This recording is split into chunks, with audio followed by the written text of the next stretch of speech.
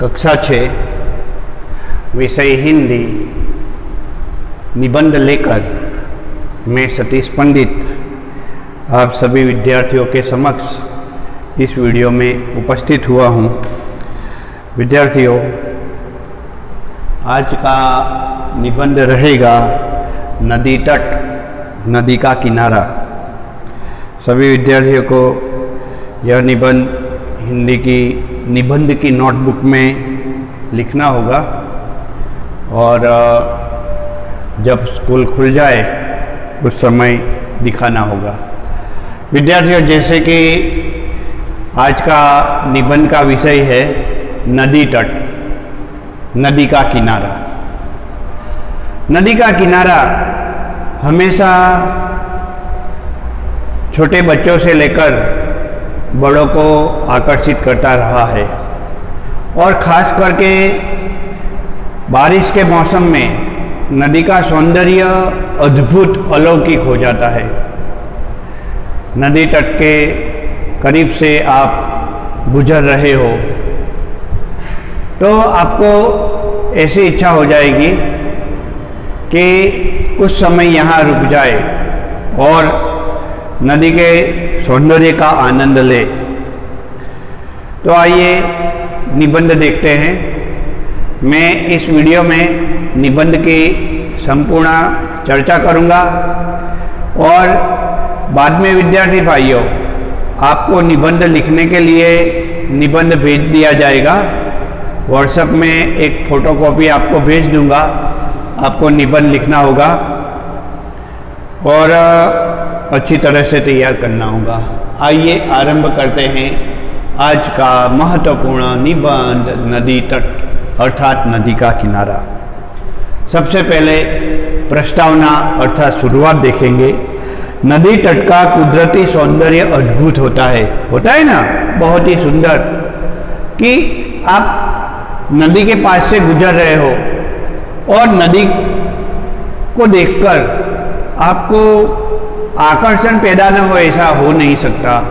बहुत ही सुंदर, खास करके बारिश के मौसम में तो भारत की कोई ऐसी नदी नहीं होगी जिसमें पानी न आ जाए।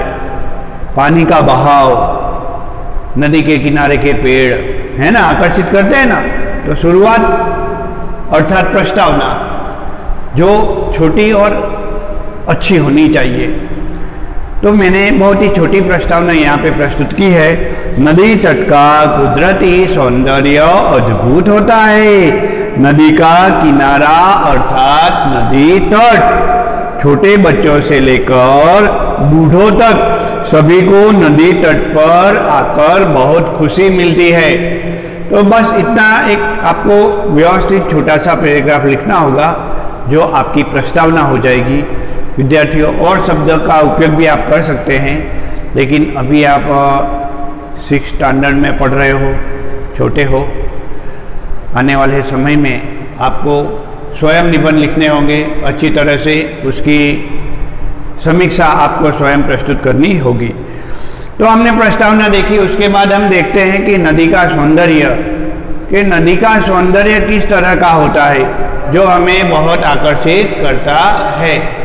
तो हम नदी का सौंदर्य देख लें। नदी तट पर पेड़ पौधे, फूल, हरियाली, रेत पानी न जाने कितनी खुशियों का खजाना देखने को मिलता है। मिलता है ना? एक चीज़ नहीं मिलती नदी तट पर। अनेक वस्तु देखने को मिलेगी। अनेक प्रकार का सौंदर्य देखने को मिलेगा। और वही सौंदर्य आपको आकर्षित करता है। नदी तट पर पेड़ पौधे देखने को मिलेंगे। बहुत सारे पेड़ होंगे। अलग अलग वनस्पतियाँ खिली हुई होगी पौधों के रूप में। हरियाली चौतरफ फैली हुई होगी। नदी तट पर नदी की रेत, जिसमें खेलने में तो बच्चों को बहुत मज़ा आती है। नदी की रेत में खेलते हैं गीली गीली रेत होती है। पानी, नदी में, नदी तट पर पानी भी देखा जाता है। बहता हुआ पानी देखा जाता है। एकदम स्वच्छ पानी होता है। न जाने कितनी खुशियों का खजाना हमें नदी तट पर देखने को मिलता है। छोटे बच्चे तो नदी तट पर आकर बहुत ही खुश हो जाते हैं। आपकी तरह छोटे बच्चे जो होते हैं, नदी तट पर आकर बहुत खुश हो जाते हैं। लेकिन अकेले कभी नदी तट पर नहीं जाना चाहिए, क्योंकि खास करके बारिश के मौसम में तो नदी के पानी का बहाव बहुत तेज होता है और गलती से अकेले नदी में गए और नदी में नहाने की कोशिश की तो दुर्भाग्य भी साथ में आ सकता है। इसलिए परिवार के साथ गए और ख़ास करके तो अधिक मात्रा में पानी हो तो नदी तट पर नहीं जाना चाहिए और बच के रहना चाहिए विद्यार्थियों। ये भी एक महत्वपूर्ण बात है। लेकिन हम नदी का सौंदर्य को कम नहीं आंक सकते वह बहुत अधिक मात्रा में है। छोटे बच्चे नदी में आकर बहुत खुश हो जाते हैं। बरसात के मौसम में नदी के सौंदर्य की परिभाषा ही बदल जाती है। वह अनुपम सौंदर्य धारण कर लेता है। नदी के सौंदर्य में चार चाँद लग जाते हैं। नदी के सौंदर्य में चार चाँद लग जाते हैं। लोग नदी के बढ़ते जल स्तर को देखने के लिए दूर दूर से नदी तट पर आते हैं और आश्चर्य का अनुभव करते हैं। लोग गाँव गाँव शहर शहर बात करते हैं कि आज तो अपने शहर के पास से बह रही नदी में बहुत पानी आया है। बारह महीनों में यह नज़ारा कभी कभी देखा जाता है। चलो अपने नदी देखने के लिए जाते हैं। लोग घर से निकल जाते हैं नदी को देखने के लिए। और नदी का बढ़ा हुआ जल स्तर देखकर बहुत खुश हो जाते हैं, आश्चर्य का अनुभव करते हैं कि अरे, आज तो हमारी नदी में कितना पानी आया। देखो ना, दोनों किनारों में पानी ही पानी, दोनों किनारों से भर के बह रही है, बहुत ही सुंदर लग रही है। तो यह नदी के सौंदर्य की बात की। दूसरे पैराग्राफ में नदी का सौंदर्य का वर्णन करना होगा। अब तीसरा पैराग्राफ लिखते हैं और उसकी चर्चा करते हैं। बाद में आपको यह लिखना होगा। महत्व और इतिहास। नदी तट का अनेक महत्व है। नदी तट पर हमें अनेक पौराणिक मंदिर भी देखने को मिल जाते हैं। तथा अनेक सिद्ध पुरुष तथा संत महात्माओं के आश्रम भी नदी तट पर देखने को मिलते हैं। ये एक महत्वपूर्ण बात रही। अनेक नदियों के किनारे, अनेक संत महात्माओं के आश्रम, जो हमारे भारतवर्ष की शान बढ़ाते थे, ऐसे बड़े महत्वपूर्ण संत महात्मा नदी तट पर आश्रम बनाकर रहा करते थे और नदी तट के महत्व को बढ़ाया करते थे। नदी तट पर स्थित जो खेत होते हैं, उनमें फूलों की खेती भी होती है और उन फूलों के कारण नदी तट पर हमें सुगंधी का अनुभव देखने को मिलता है। आप नदी तट पर जाएँगे, फूलों की महक बहुत ही वातावरण को सुंदर बना देती है, सुगंधी का अनुभव कराती है। नदी तट पर स्थित खेतों में फूलों की सुगंध वातावरण में सुगंधी का संचार करती है, जिससे बहुत ही आनंद का अनुभव होता है। अब हम देखेंगे आनंद उल्लास वाला पैराग्राफ कि आनंद और उल्लास नदी तट पर किस प्रकार हमें मिलता है। बच्चों को मिलता है और बूढ़ों को मिलता है। नदी तट पर बच्चों को बहुत मज़ा आती है। आती है विद्यार्थियों? नदी तट पर मज़ा अवश्य आएगी। नदी तट पर मज़ा ही मज़ा है। जब बच्चे अपने परिवार के साथ नदी तट पर किसी शुभ अवसर पर आते हैं तो उनके खुशियों का वर्णन करना बहुत कठिन हो जाता है। बच्चे तो नदी तट पर बैठकर नदी की गीली रेती में खेलने लगते हैं। कभी मिट्टी का पहाड़ बनाते हैं, कभी मिट्टी का शिवलिंग बनाते हैं और इस प्रकार अपना आनंद व्यक्त करते हैं। नदी तट पर बहुत सारे लोग इकट्ठा हो जाते हैं। हमें वहाँ से नदी तट पर खड़े रहकर नदी में नहाते हुए लोग दिखाई देते हैं।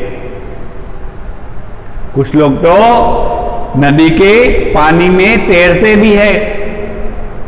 जो तैराक होते हैं ना, उनको नदी के पानी में तैरने में बड़ी मज़ा आती है। और यह सब दृश्य हमें नदी तट पर से देखने को मिलते हैं। नदी तट पर हमें कभी कभी मेला लगा हुआ दिखता है। नदी तट पर कोई पौराणिक मंदिर हो, वहाँ मेला लग जाता है। बहुत सारे व्यापारी वहाँ आ जाते हैं। हमें बहुत सारे खिलौने भी देखने को मिलते हैं। अपने पापा को कहते हैं, माँ को कहते हैं कि हमें खिलौने खरीदने हैं। गुब्बारे वाला गुब्बारा बेचता हुआ दिखाई देगा। आप गुब्बारा खरीद लेंगे, छोड़ेंगे, उसमें गैस भरी हुई होगी और धीरे धीरे आसमान में जाने लगता है।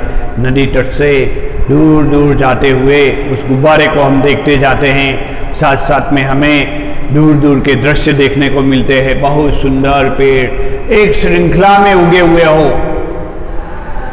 और पहाड़ी के आसपास का नदी का सौंदर्य तो अद्भुत होता है। पहाड़ में से गिरते हुए झरने जो नदी में आकर के नदी का स्वरूप ले रहे हो, वह सब दृश्य हमें नदी तट से देखने को मिलते हैं। आँखें एकदम खुश हो जाती है। हमें अपनी आँखों पर मानो विश्वास ही नहीं होता। कि वाह, कितनी मज़ा आ गई। नदी तट पर कभी कभी हमें आसपास के विस्तार के पशु पक्षी देखने को मिलते हैं। आसपास के विस्तार के पशु, गाय, भैंस, भेड़ इत्यादि नदी का पानी पीने के लिए आते हैं और नदी तट से हम वह दृश्य देख सकते हैं।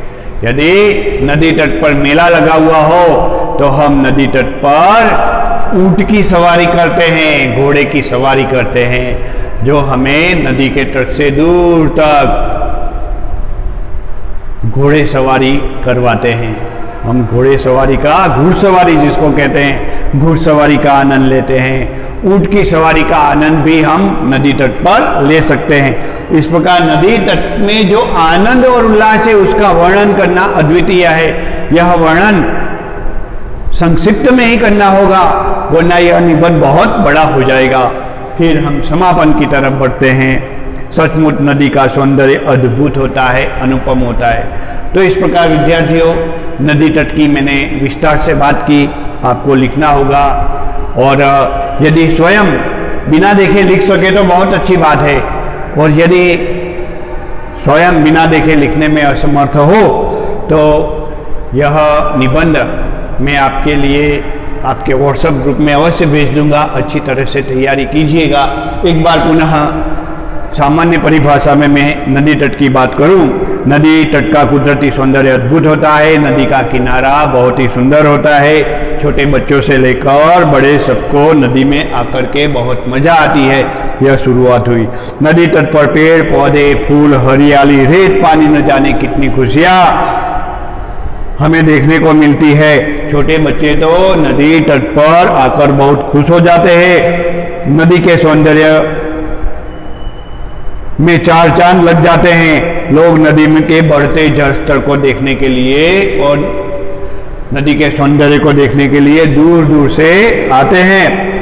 नदी तट पर महत्व की बात है। नदी तट पर हमें अनेक पौराणिक मंदिर तथा सिद्ध पुरुष संत महात्माओं के आश्रम देखने को मिलते हैं। नदी तट पर स्थित फूलों के खेत आसपास के वातावरण को सुगंधिमय बना देते हैं, जिससे वहाँ रुकने में बड़ी मज़ा आती है। जितना भी समय वहाँ गुजारो, आनंद आनंद आ जाता है।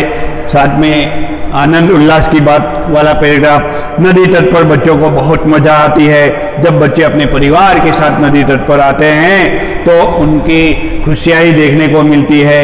वे नदी के किनारे में आकर के, नदी की ठंडी ठंडी रेत में खेलते हैं, मिट्टी का पर्वत बनाते हैं, शिवलिंग बनाते हैं। साथ साथ में नदी तट पर अनेक पशु पक्षी भी देखने को मिलते हैं। नदी तट पर गुब्बारे वाला गुब्बारा बेच रहा होता है।